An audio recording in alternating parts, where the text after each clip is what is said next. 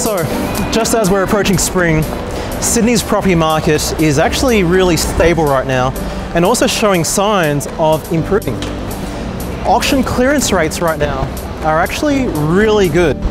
We're showing for the last three to four months auction clearance rates of 60% to 80%, which is really healthy. In a bad market, you can expect 40% or below. Now, interest rates, the lowest they've ever been in Australian history for the last six years. And even so, we've had two recent drops in interest rates. So great time to be buying property. We're at the bottom now of the next property cycle. Prices right now are very fair. Teejay, over to you. Thanks, Joe.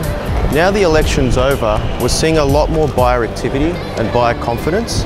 Lending restrictions have changed, which means loans are getting approved, more activity in the marketplace, which is all positive signs.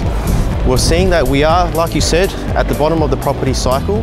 So if you are looking to purchase a property, now is the best time because if you want to maximize that long-term capital growth, um, this is a great opportunity. What advice do you have for landlords? The rental market has been slower than previous years. However, it's not all bad news. We can still find you a good tenant if you price the property correctly and use professional marketing.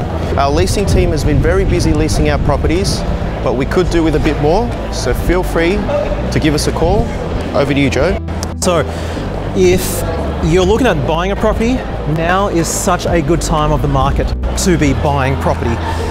If you're a property investor, it's important to have a great team behind you. Uh, a team that is really a top performing team and that can really get shit done. If there's anything that we can't do, feel free to reach out and we'd be happy to help. Until the next market update. See you guys.